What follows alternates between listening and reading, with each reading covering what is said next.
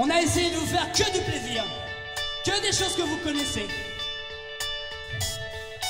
Des belles choses pour vos oreilles.